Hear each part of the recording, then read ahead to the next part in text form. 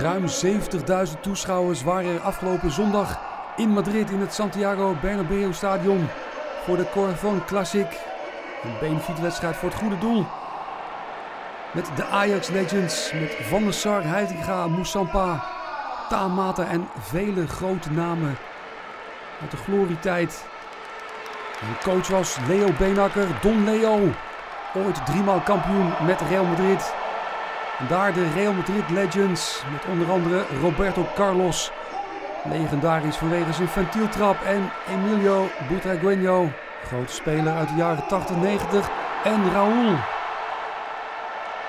Clarence Seedorf en vele andere grote namen, Guti, Hierro, noem ze allemaal maar op. Mooie wedstrijd, Real Madrid Legends tegen Ajax Legends. Beide teams maakten er een leuke wedstrijd van. De eerste doelpoging Michael Reiziger en op de lat. Paco Bullo, de doelman, verrast. Mooie poging. En Ajax ging door. Goed begin van de ploeg. Mark Overmars. Overmars binnendoor, schot en Bullo Overmars die in 95 in het Olympisch Stadion op vergelijkbare wijze het doel trof. Ditmaal Bouyo, die te slim af was. Niet alleen feest op het veld, maar ook op de tribune. Vele malen ging de weef rond. En opnieuw Mark Overmars met de voorzet. Dan wil Roberto Carlos hem wegwerken, maar de bal verdwijnt in het doel. Een curieuze treffer ook voor Kenneth Perez en Ronald de Boer. Typische Mark Overmars beweging en voorzet. Carlos wil de bal wegschieten, maar raakt daar Clarence Seedorf. Het staat 1-0 voor de Ajax Legends. Wat is het antwoord van Madrid? Mooi combinatievoetbal. Paasje op Raúl, maar van de Sar. Op tijd uit zijn doel. Kreeg veel te doen en Mark Overmars moet helaas tijdig het veld verlaten wegens een blessure. En hij wordt vervangen door Simon Tamata, de Nestor op het veld. En dan Luis Figo, de Portugees. Figo versus Heitinga. Beweging en een schot en Van der Sar opnieuw. En dan even later dit moment. De voorzet. Misverstand tussen Heitinga en Van der Sar. En dan is het Figo die profiteert en zijn ploeg op gelijke hoogte brengt. Van der Sar komt zijn doel uit, maar Heitinga kopt hem weg. En dan is het Vigo die de bal in het doel schuift. Voorzet. En dan Salgado met de kans, maar die gaat over. Salgado, de dynamische rechtsback. Met de grote kans en een hele mooie aanname van Zeedorf. Blijft in balbezit. Op zoek naar Raúl. Mooi hakkie. Raúl krijgt de bal terug. Opent op Vigo. Voorzet. McManaman. En dan is het 2-1 voor de Legends van Madrid. Steve McManaman. En kijk naar de vreugde bij Raúl en Vigo. En McManaman.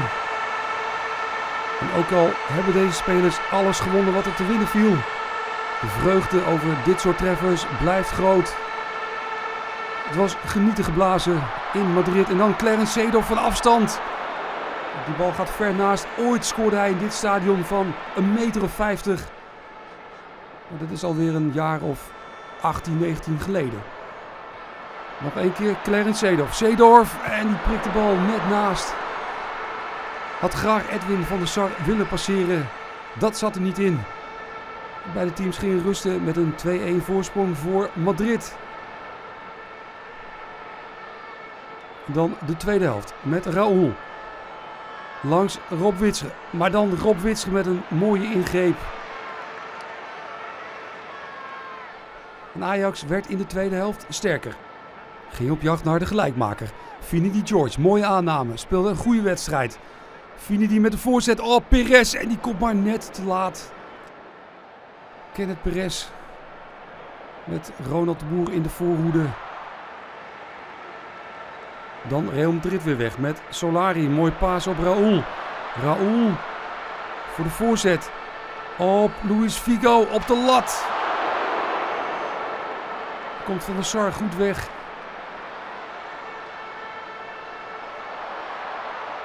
Mooie aanval van Real Madrid.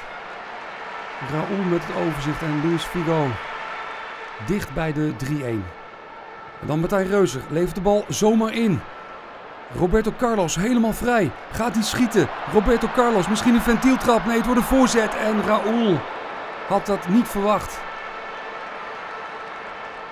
Carlos kan het niet geloven. De spectaculaire linksback.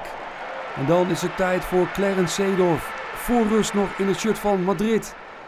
En na rust in het shirt van Ajax, de club waar het allemaal begon.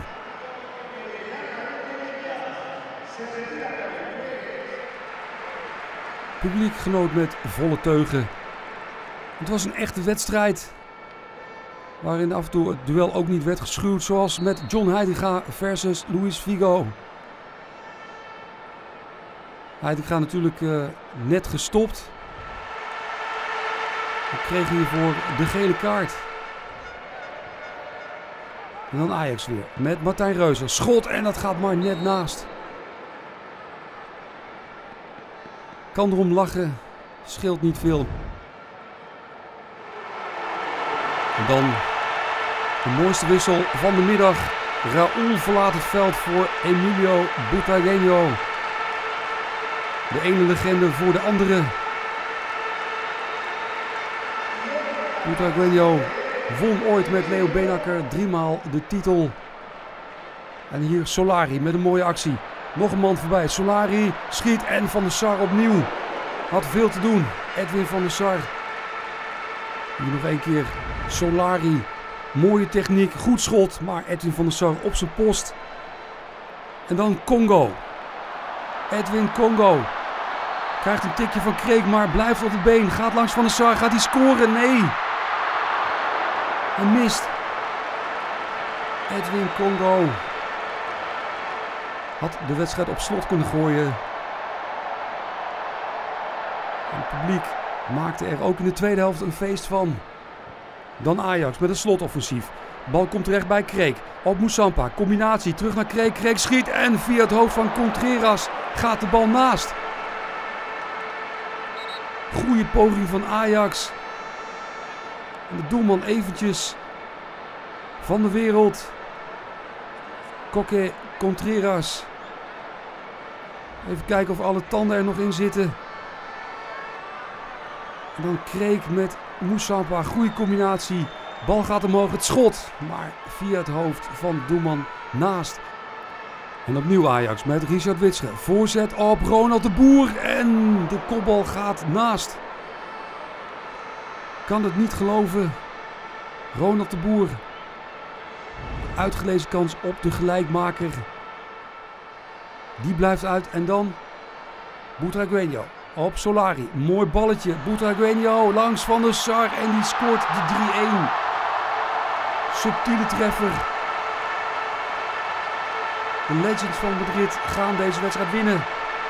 Dankzij deze treffer van Butragueño. De legendarische speler uit de jaren 80 en 90.